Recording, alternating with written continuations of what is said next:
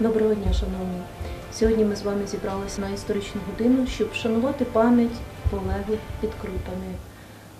Хто такі крутянці? Ви, мабуть, знаєте. Їх іще ототожнюють із кіборгами.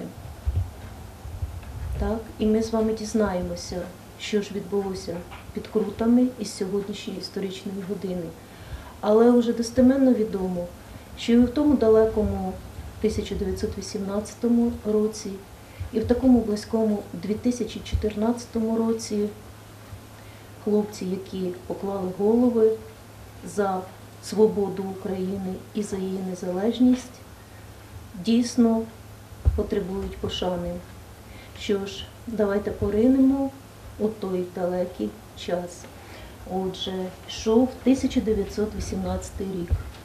Четвертим універсалом Центральна Рада проголосила Українську Народну Республіку самостійною, ні від кого незалежною, суверенною державою. Проте більшовицька влада не хотіла так просто віддавати свого молодшого брата. Після захоплення Харкова та Полтави більшовики спрямували своє п'ятитисячне військо на Київ під приводом Муравйова. На той час в Центральній Раді не було армії. Основна її частина була розбита більшовиками, інша перейшла на бік червоних, спокусившись фальшивими обіцянками. У той важкий і грізний час на оборону рідного краю став лише невеликий частина, невелика частина ідейних борців. У Києві сформувався корінь із студентів та учнів гімназії. Наступав холодний ранок 29 січня 1918 року. О 9 годині розвідка донесла, що більшовики наступають. Молоді герої стали готуватися до бою. Юнаки мужньо відбивали атаки ворога, не залишаючи своїх позицій. Проти них наступали матроси Балтійського флоту. Їх було аж 5 тисяч вояків, а борців за Україну близько 600. Бій був запеклий і тривав до полудня. Молоді воїни билися відчайдушно, виявляючи зразки хоробрості. Червоніли під крутами маки, розцвіли на холоднім снігу. Вони йшли, щоб за Київ мирати, та у серці плекали весну. Пломеніли жаринами квіти, як ці мрії у юних серцях. А вони були майже ще діти, а вони так любили життя. Розквітали під крутами маки, догоряли свічки їхніх доль.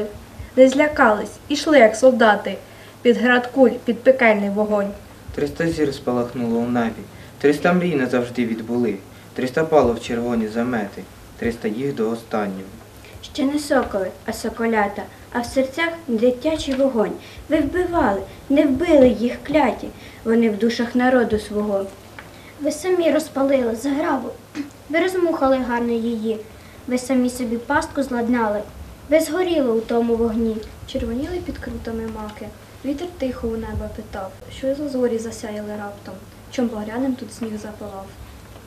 Отже, події 29 січня 1918 року, які живуть в душі українського народу, і сьогодні є тряд його серця. Тож давайте зазирнемо в ті дні і відкриємо ще одну сторінку нашої історії, усвідомимо суть трагедії, ім'я якої Крути. Ми зараз із вами переглянемо документальний фільм про Крути. Бій під крутами. Окрема сторінка української історії написана кривавими чорнилами.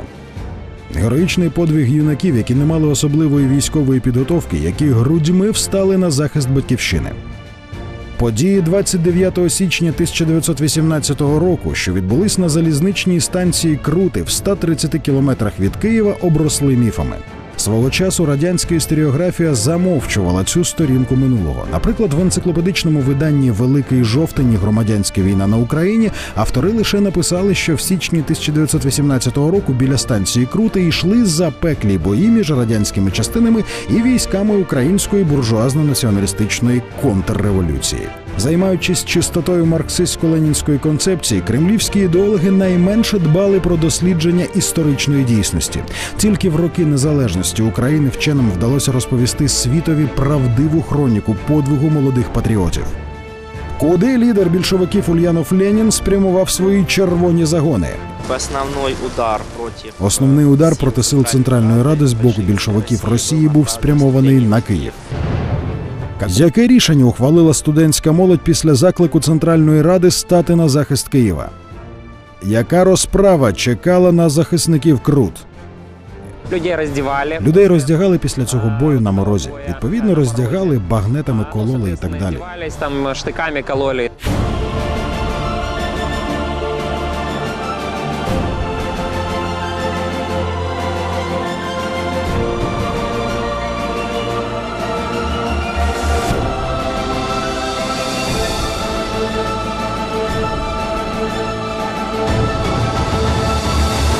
Початку січня 1918 року війська російської Червоної армії увірвались на українські землі.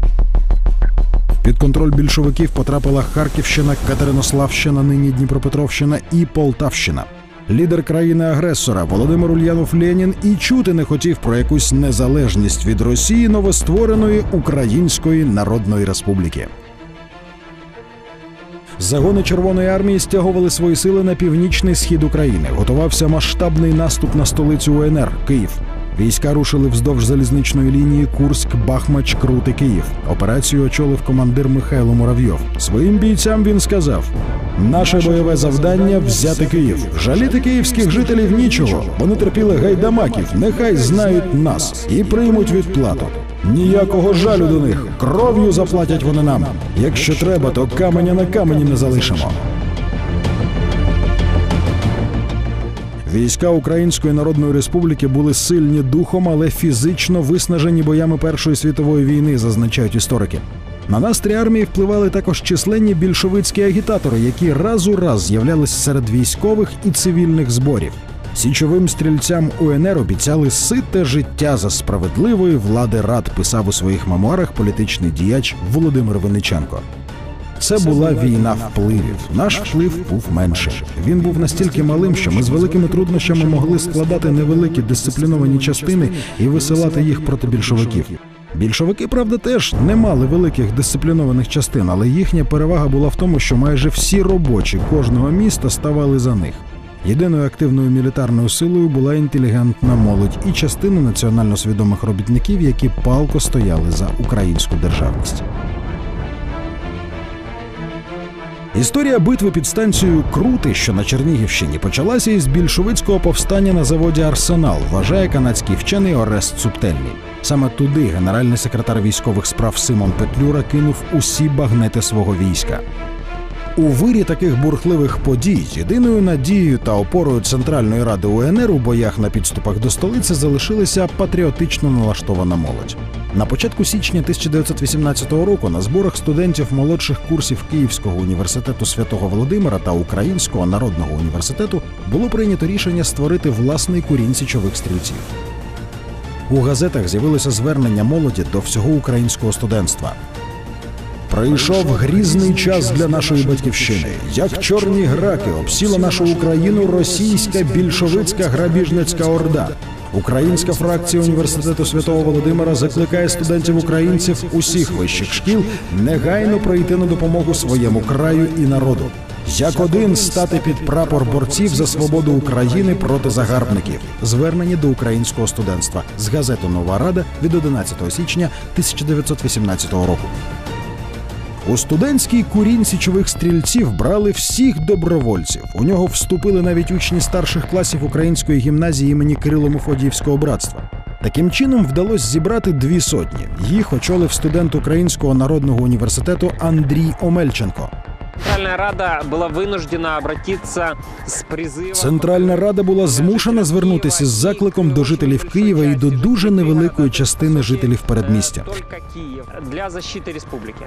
Из них один из отрядов... это Із был них один із загонів це були ті солдати, які висунулися до Крут. Солдатами їх назвати було складно, хоча там деяка частина офіцерів мала бойовий досвід Першої світової війни. Э, Некоторая часть офицеров имела боевой опыт э, Первой мировой войны. Тем не менее, это были буквально десятки Проте це людей. був буквально десяток людей. Вся решта це були абсолютно необстріляні люди, студенти, навіть учні шкіл. Студенты, э, даже э, ученики школ. Для охорони північних кордонів Києва на станції Бахмач із середини грудня 17-го року вже перебував український гарнізон. До його складу входило чотири сотні курсантів першої київської юнкерської школи імені Богдана Хмельницького. 26 січня Центральна Рада отримала повідомлення від командира цього загону Аверкія Гончаренка. Він терміново просив допомоги для боротьби із більшовицькими загонами. На фронт негайно відправився один вагон із першою сотнею студентського куреня. Просто так випало, что не было достаточно войск, которые... Так випало, що не було достатньо військ, які могли б вийти на зустріч більшовицької армії. Були добровольці. Студенти йшли на це теж добровільно і зі своїх власних міркувань. Вони пройшли якийсь там елементарний військовий вишкіл. Какую-то они прошли элементарную военную выучку. И почему станция... І чому станція Крути? Так склалося, що зійшлися саме на цій станції. Іншого шляху залізницею не було. Не было. Розібравши рейки, розібравши шляхи, студенти змогли зупинити просування армії. Остановить продвижение армии. Левова частка студентів і школярів старшокласників по суті не встигла отримати належну військову підготовку. Озброєні були слабко. Втім, незважаючи на це, вони їхали рятувати незалежність своєї батьківщини, сповнені патріотичних почуттів. Історик Михайло Ковальчук наводить спогади невідомого мемуариста. Треба тільки було поглянути на їхні обличчя і побачити екзальтований вираз очей, щоб зрозуміти, що всякі резонні докази безсилі змінити їхнє рішення йти на фронт і битися з ворогами української держави. Не наважуючись протистояти наступу багатотисячного російського війська на станції Бахмач, командувач українськими силами Аверкій Гончаренко наказав відступити до залізничної станції Крути. Туди, 28 січня, з Києва дісталась і нова студентська сотня. Новоприбулий студентський курінь січових стрільців поділили на взводи по 27-30 осіб. Три з них зайняли позиції в окопах. Четвертий, що складався із наймолодших, знаходився в резерві. Вранці 29 січня 1918 року більшовики пішли в наступ. Захисники Крут відповіли шквалом пострілів, під який потрапив загін балтійських матросів. Бій тривав більше п'яти годин. Українцям вдалося відбити кілька атак, але на допомогу червоним почали підходити нові загони Михайла Муравйова. А з боку Чернігівської колії під'їхав бронепоїзд і обстріляв захисників крути з тилу. Більшовики почали обходити позиції українців з лівого флангу. Виникла небезпека оточення. Командир студентської сотні Омельченко вирішив відбити ворога багнетною атакою. Вона виявилась невдалою, адже юнакам протистояли в основному професійні воїни. Сотня зазнала втрат. Загинув і сам Омельченко. Січові стрільці і молоді добровольці стали відступати в напрямку Києва. Вцілілі українці зібралися близько 17-ї години біля ешелону, який їх чекав, розповідали учасники тих подій. Однак виявилось, що не вистачає одного взводу молодих добровольців. З'ясувалося, відступаючи в сутінках, юнкери і школярі втратили орієнтир, просто пішли на світло. Їм здавалося, що це горять вогні потяга. У метушні вони заблукали і потрапили прямо на станцію Крути. Вона вже була під контролем червоноармійців. Російський командир Єгор Попов, розлючений втратами серед своїх солдатів, наказав на ранок розстріляти затриманих. За даними Українського інституту національної пам'яті, 29 січня 1918 року загони Червоної армії розстріляли біля станції Крути 27 студентів і гімназистів. Один із них перед стратою заспівав гімн своєї батьківщини Ще не вмерла Україна. Решта підхопила цей прощальний спів. Юні голоси замовкали один за одним під гуркіт пострілів російських гвинтівок. Людей раздевали после э, вот. Людей роздягали після цього бою на морозі. Відповідно, роздягали, багнетами кололи і так далі. Ось ці тіла, які потім розкопували, вони були в результаті пошматовані, спотворені ось цими муками і багнетами. На них були рани, тому що ексгумація проводилась буквально через пару місяців, і все це було видно. На них были раны, потому что эксгумация проводилась там через пару месяцев буквально, э, и все это было видно. Віддавши життя за Україну в битві під крутами, добровольцям вдалося ненадовго затримати наступ більшовиків на Київ. Цього вистачило, аби представники УНР і так званих центральних держав підписали мирний договір у Брест-Литовську. Він де юре і де факто визнавав українську незалежність, проголошену четвертим універсалом Української центральної ради 22 січня 1918 року. Насколько была профессионально организована оборона под станцией? Наскільки була професійно організована оборона під станцією Крути, це вже питання інше. Найголовніше, що, хоч ціною великих жертв, вдалося зупинити просування військ, вдалося трохи відтермінувати захоплення Києва, і це дало необхідний час для Центральної Ради прийняти певні політичні рішення, які дозволили їй надалі підписати Брест-Литовський договір і використовувати допомогу австрійських німецьких військ у боротьбі з більшовиками. Договор и использовать уже помощь э, австро-германских войск в борьбе с большевиками. Після повернення уряду УНР до Києва Центральна Рада на чолі з Михайлом Грушевським вирішила перепоховати полеглих студентів і увічнити їх подвиг на Аскольдовій могилі. Минуло 100 років із дня трагічних подій біля станції Крути. Україна знову змушена захищати свою незалежність від натиску російського агресора. У 2014-15 роках українські солдати більш ніж 240 днів вели бій за Донецький аеропорт. Вони ціною свого життя отримували кремлівських найманців і бойовиків так званої ДНР від просування вглиб української території.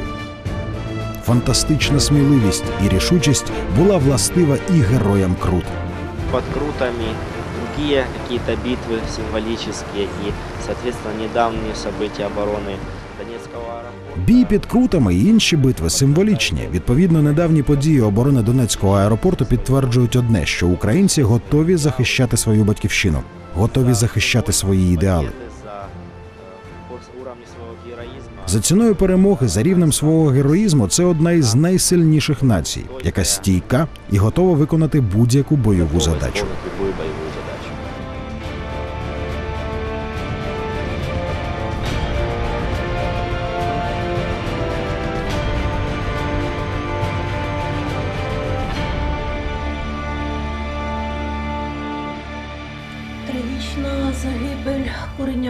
Куреня стала символом патріотизму і жертовності у боротьбі за Україну. І бився із червоним військом у районі станції Крути і 23-річний Михайло Іванович Сушков, виходець із корінної хліборобської родини, і, до речі, наш із вами земляк. Жили вони в потоках.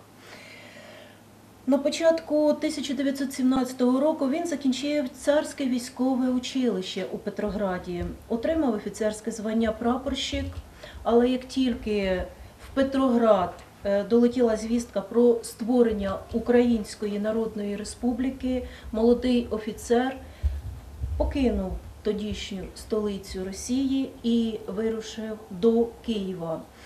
У чині прапорщика він вступив у щойно створену армію Української Народної Республіки. Ось ви можете бачити на екрані е, Михайла Івановича Сушка. е, Він сидить. Після бою під крутами Михайло Сушко разом із групою січових стрільців, серед яких були і хлопці із Корсунщини, відступали до Києва. Так склалося, що їм із боями довелося виходити, виходити Миронівщиною у напрямі рідного сушку села Потоки. Та під сусіднім селом Коритище його закін оточили червоні. Коли Михайло побачив, що вирватися із оточення неможливо, він прийняв дуже важливе рішення. Він покінчив життя самогубством, застрелився. Кілька днів тіла загиблих українських вояків лежали, і е, червоні не дозволяли поховати їх. Дізнавшись про загибель свого сина, батько Михайла, нагрузивши воз різноманітними е, продуктами, звернувся до командира червоних із пропозицією прийняти продукти, щоб забрати тіло свого сина. Командир з радістю погодився. Батько забрав тіло сина, похоронив, його поховав його у селі Потоках на цвинтарі. Е, Пройшли роки, і давно вже немає родичів героїв Крупти, які доглядали дорогу їм могилу. Тому могила певний час була згублена, заросла бур'янами. І тільки за роки незалежності вдалося розшукати родичку, яка і показала, де знаходиться могила. І завдяки е, старості Старостинського округу села Потоки вони взяли її на свій баланс. Зараз там стоїть хрест і доглядають за цією могилкою. Точна кількість загиблих студентів офіційно ніде не зафіксована. За свідченнями учасників тих подій було вбито більше 250 осіб е, з українського боку. Відомі імена лише, як ви чули, 27 студентів, яких взяли в полон і розстріляли. І їхні тіла пізніше, як ви також чули, були перепоховані у Києві на Роскольдовій могилі. Тож я пропоную вам зараз вшанувати пам'ять героїв Крут і не тільки, які загинули за волю і суверенітет нашої незалежної України хвилиною мовчання.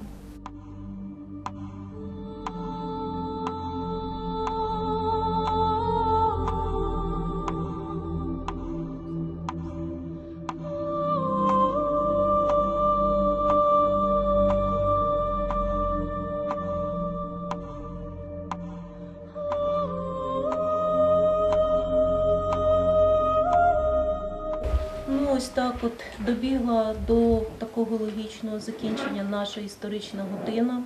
Я сподіваюся, що ви з цієї історичної години винесете все тільки хороше, як потрібно любити свою батьківщину, як потрібно шанувати її і як потрібно боротися за її незалежність і суверенітет. Я дуже вам вдячна за те, що ви і взяли участь і прослухали нашу таку невеличку лекцію для вас.